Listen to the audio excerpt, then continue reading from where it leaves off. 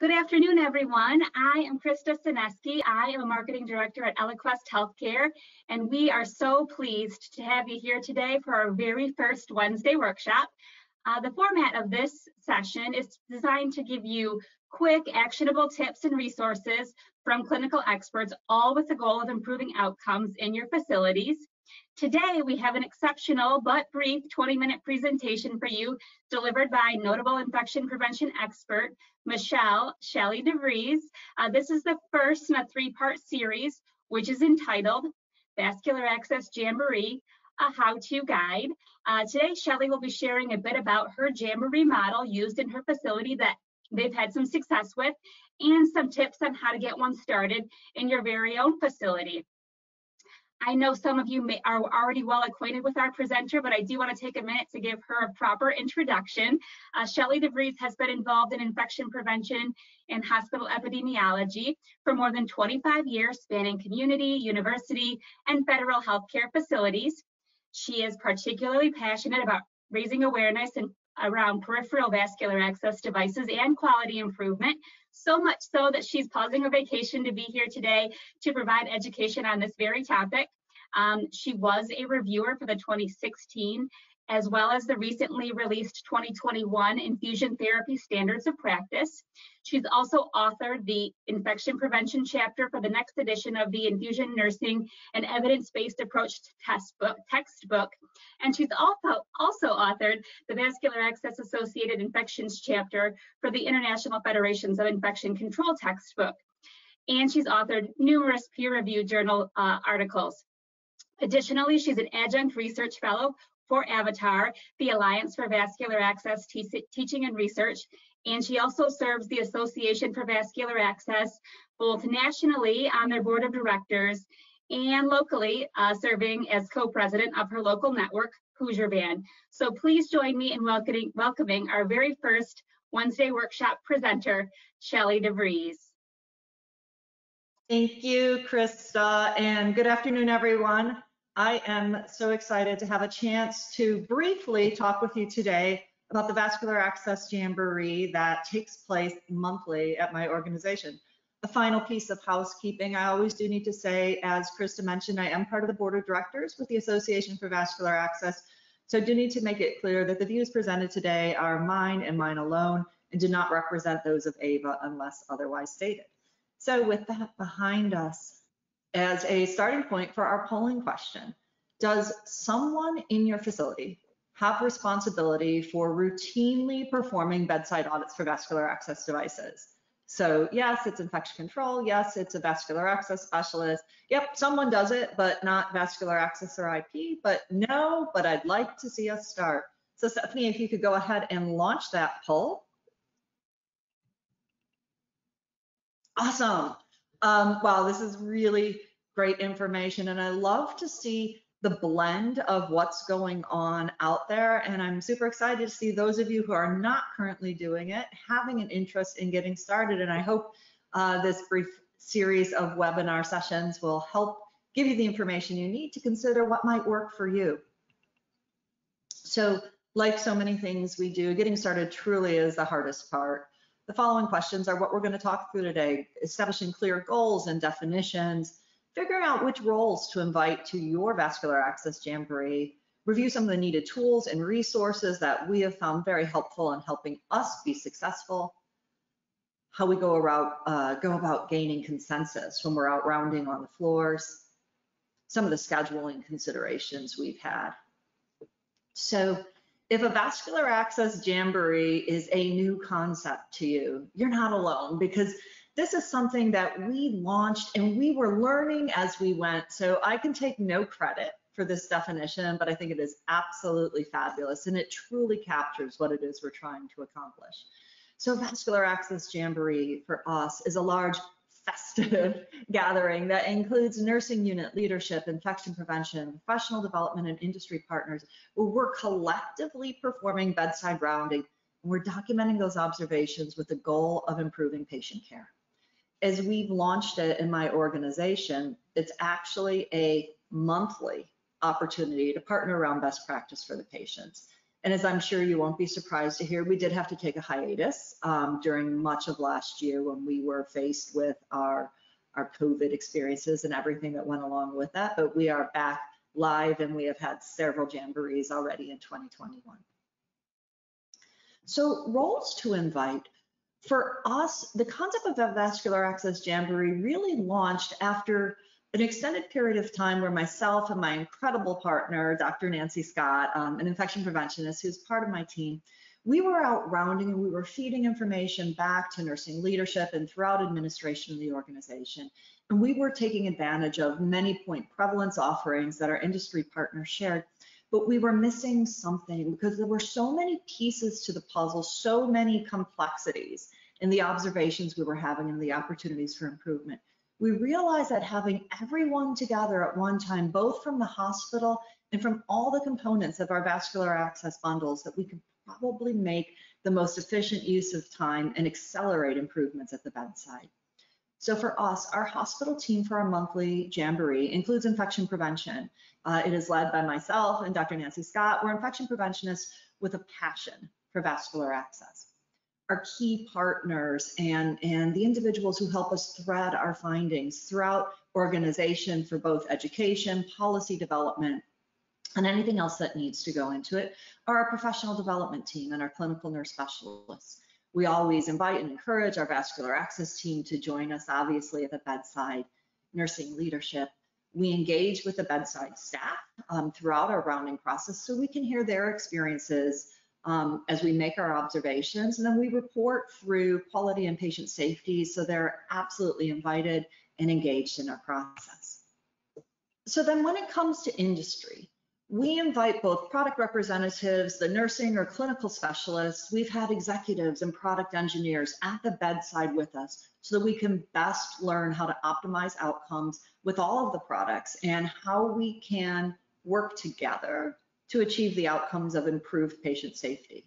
So the folks we include, we always invite our catheter manufacturers for our central lines, our peripheral lines, our midlines, those that represent our vascular access dressings, our various methods of securement, and then all the adjuncts that go into our bundles, both for peripheral devices and central devices, which for us includes our gum mastic liquid adhesive, our CHG sponge dressings, our alcohol impregnated caps, and then at times we've included the manufacturers of our flush syringes and our TPA so that we can flex to address the opportunities that are presented to us and have an ever evolving way to address opportunities in our organization. So uh, on to another quick poll question. Um, for all of us, no matter if your performance is exceptional or has opportunities for improvement, reducing CLABSIs remains a top priority for all of us. So reflecting, and this is just an opinion piece, what practices do you think have room for improvement right now in your facility? Here we go. A lot of all of the above. Okay, there we go. All right, I'm not surprised. So I agree with everything that folks have said. We can't forget about hand hygiene, administration set changes. I think some of us have some changes in policy with the new standards and publications, CHG dressings, dressing integrity at 44%. You have come to the right place. And then ultimately, and this is where we are as well, all of the above. Um, after the year, year and a half at this point, we've all had getting back to the basics, getting us back where we need to be with our patient outcomes so that we can continue to provide absolutely excellent care. So thank you for your participation in that poll. So establishing clear goals and definitions. If, if you're moving forward with the concept of the Jamboree, at your starting point internally, you need to decide what your focuses are. So identifying what you want to monitor, but then as importantly, how you're going to monitor that. So I share a spreadsheet. It's a snapshot of how we originally captured this data. We've gone through a series of iterations. Originally, this was a homegrown Excel spreadsheet that lived on a shared drive and everyone would dump data into it. We've then experimented with a couple of different um, web-based applications. And what we've currently been able to move forward with is something that fully integrates with our incident reporting system or our risk management system in the hospital. There's no one right way to do it, but regardless of how you do it, understanding what you're hoping to accomplish, how you're going to gather that data, and then creating data dictionaries so that you are consistent with how that information is collected. For us in my organization, a monthly vascular access jamboree serves as a sort of iterative reliability because we have the ongoing monitoring. And prior to COVID, these same assessments were made at the unit level, and we would get upwards of 2,000 observations a month. So our vascular access jamboree, we tend to get 50 or maybe 100 observations each month, but allows us to somewhat validate the internal work that's being done. So identifying what measures you're going to have, creating the data dictionary around what those terminology, what those words mean to you, and then making sure that anyone who is involved in collecting that data is also aware of those definitions so they can be applied consistency, consistently over time, over department, and uh, between the individuals. So needed tools and resources. Understanding both for your internal group and the larger uh, interdisciplinary collaborative group, why are we here? For us, it is all about the patient, improving those outcomes, and identifying each time what we hope to accomplish, because that focus may change slightly based on the outcomes or the opportunities we've identified month to month. And part of the beauty about us being able to do this every single month minus that gap we understandably had during COVID, is we can shift our focus, we can pivot our focus, and we can bring in additional experts as needed to help us get where we need to be.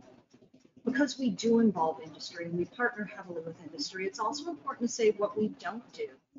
So Nancy and I, every single time we get together, even though we have a core group for this, is we start with ground rules. And one of the important things is that we are not here together to sell to our bedside staff or to try to upsell the products we currently use.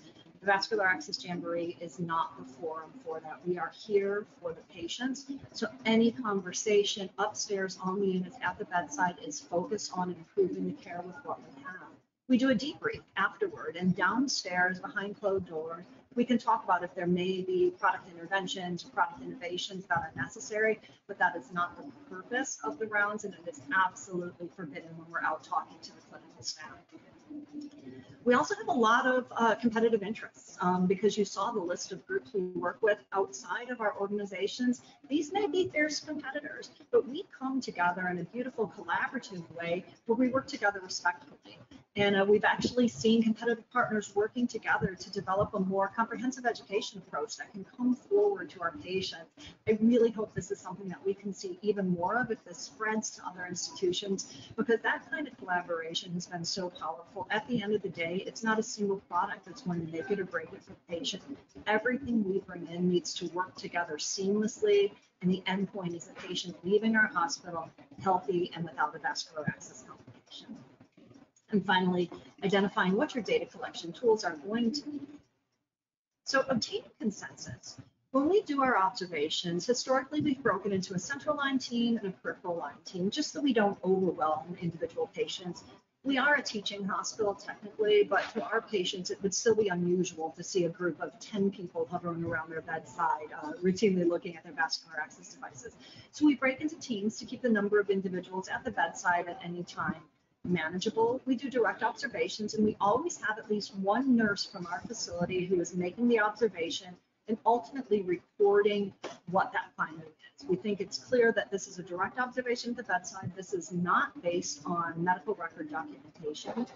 We have a discussion of those findings before leaving the unit because we do have a number of clinical experts at the bedside, both our infection prevention team, our professional development, our nursing leadership, but then our industry experts too. And in vascular access, we are so fortunate because our industry partners are likely VA-BC or CRNI themselves, and even our non-clinical partners often have their industry partner vascular access certification. Everyone's voice needs to be heard, but we want to make sure we've established consensus before we leave the bedside so that we don't get blindsided by a negative finding that not everyone had the opportunity to review.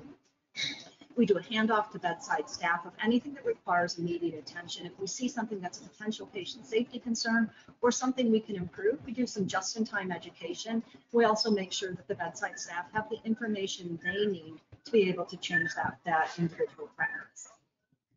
Um, we are very lucky that with the progress we've made that our quality director had brought in for us, this, um, the system we use is integrated into our risk management system and our incident reporting system. So we are able to obtain photos um, as part of this in a compliant manner But please, please, please make sure you know and follow your hospital policy on photographing patients. We do get consent, and then this is included, and our patients know we're going to use it for teaching and education. But it is a very powerful part of what we do and what we've been able to do and uh, continually get better for scheduling, what we do, this is a monthly occurrence. Um, we alternate facilities. We are one hospital, but we have two full service campuses. And in order to maximize our impact, we alternate campuses each month. Um, I've mentioned that in general, we have a central line team and a peripheral line team. Most recently, we had a relatively small number of central lines uh, in-house one day, which was wonderful. So we instead split into unit-based teams so that we saw both central lines and peripheral line teams with each group while continuing to minimize the number of people at the bedside. Our goal is not to see every single device that's in the hospital, but we do see as many as we can. And in general, like I said, it's usually at least 50 observations. We get sometimes significantly more. The pattern that we fall into is about three hours of rounds, so direct observations at the bedside, followed by approximately an hour debrief with the vascular access jamboree team. And we've occasionally been able to have our nursing leadership quality leadership or other leaders in the organization join us or call in uh, to hear this information directly. That's the time pattern that's worked for us. That's certainly not set in stone, but it's it's been just about right for us. We do alternate, oops, sorry, I got excited. Uh, we do alternate times of day, days of the week so that we can see uh, as many different uh, scenarios as possible one more quick polling question and we're just about out of time. So what do you think would be easiest for you if you wanted to launch this? I know we have a significant percentage of people say, yeah, they'd like to get started. What kind of things would make it helpful for you? Stephanie, if we can launch that poll. Looks like they want a suite of templates and tools.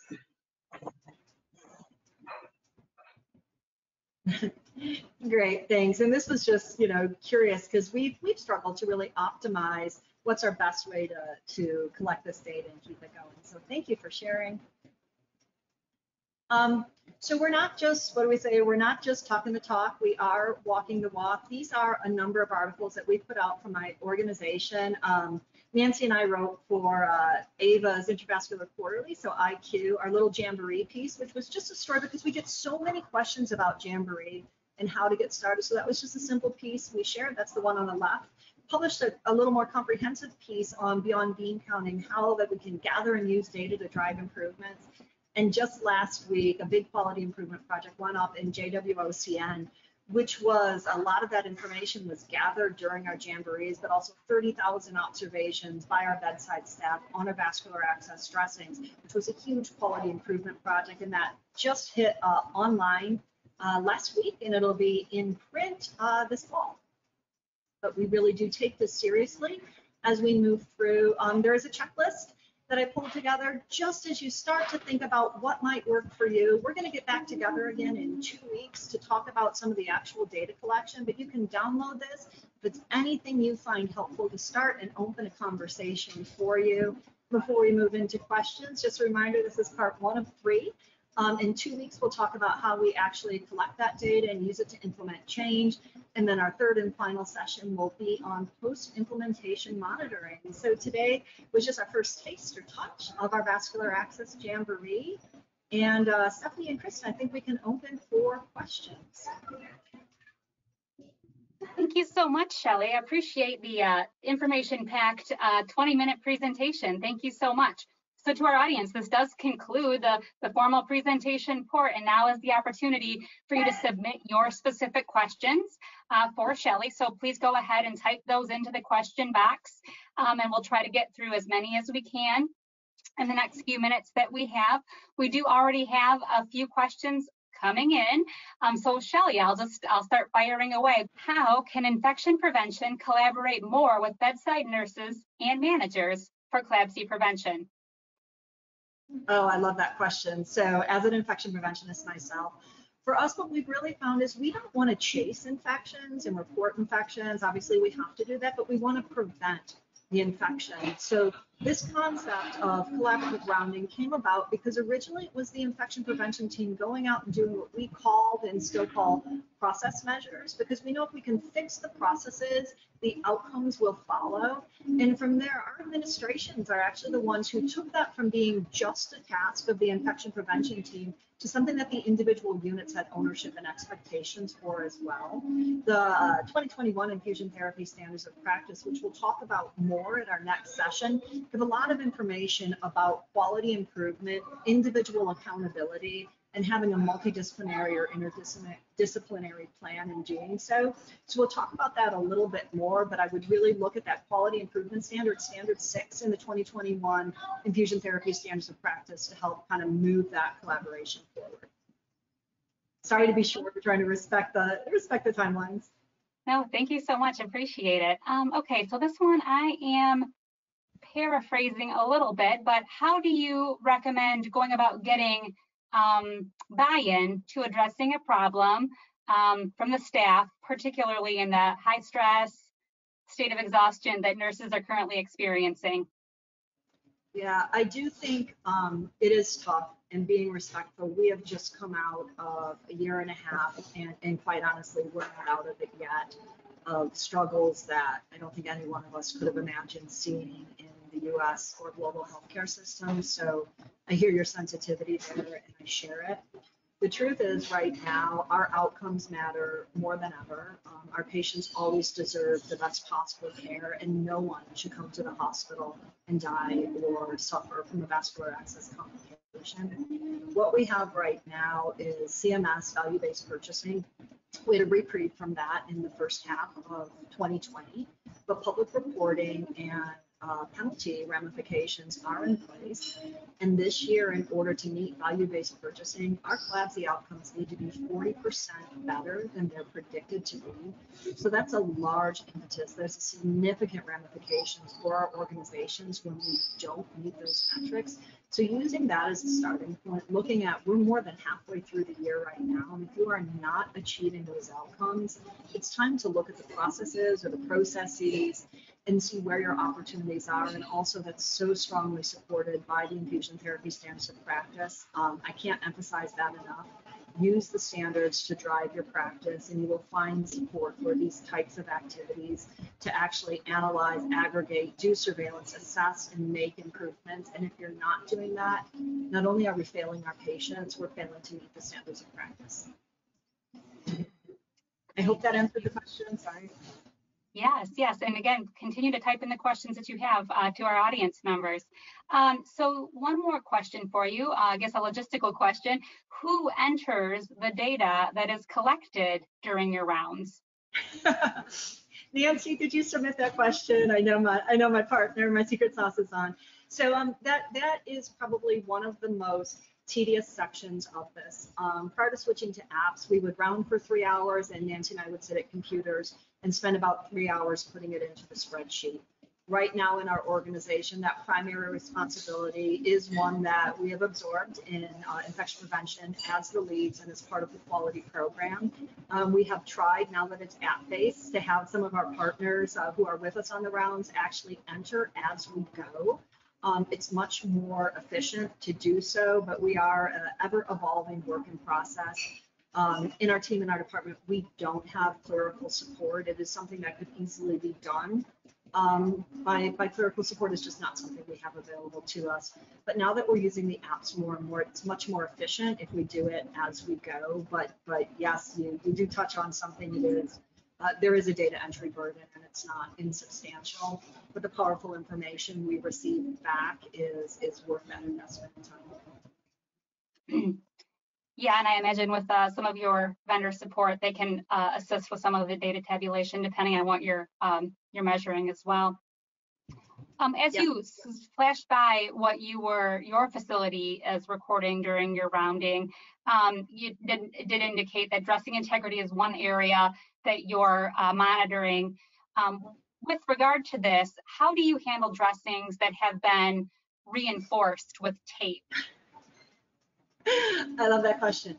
So um, yes, dressing integrity has been a major quality improvement focus for us for several years now. Um, we've presented that data a number of times at National AVA and our article on improving dressing integrity is actually referenced in the 2021 infusion therapy standards of practice. And that is the article that I shared that was just uh, just put up online recently.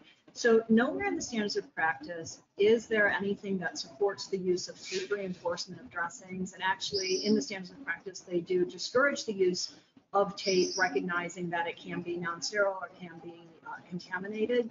So we truly are a thou shalt not reinforce hospital because it's impossible to tell if a piece of tape of any kind has been put over a dressing to prevent it from disrupting, or if we fail to follow the standards of practice, which actually say if a dressing is loose or dislodged or lifted along the border anywhere in the transparent, it needs to be changed immediately per the standards. So we do not support reinforcement of our dressing. We teach not to reinforce um, for that very reason. But we do leave a place within our electronic medical records so that if something has been re, be re, if it has been reinforced, the nurse can document that the dressing is reinforced, or if it is loosened, that they can mark that it needs to be monitored. So we do not routinely remove those dressings, but it is against our expectations that dressings be reinforced. I know that it's kind of a circuitous answer, but I hope I hope that got to the core of what you were looking for. We we by policy do not reinforce dressings in our hospital. Great, thank you so much. Well, we did have some really information-packed questions and a lot of good information. We are at our time limit. Um, so thank you so much, Chellie. As I said, I know you're pausing your, your time away from your, your family and your vacation to be here and provide this education today. We really appreciate it. And to our audience members, um, on behalf of all of us at Eloquest Healthcare, we really appreciate your attending our first Wednesday workshop. And as Chellie indicated, um, please join us again in two weeks for the next in the series, which is collecting data and implementing change. July 28th, 2 p.m. Eastern, and two weeks following that, they'll reconnect again on Wednesday, August 11th uh, for post-implementation monitoring. Thank you all for your time, and we hope to see you again in two weeks. Thanks, bye.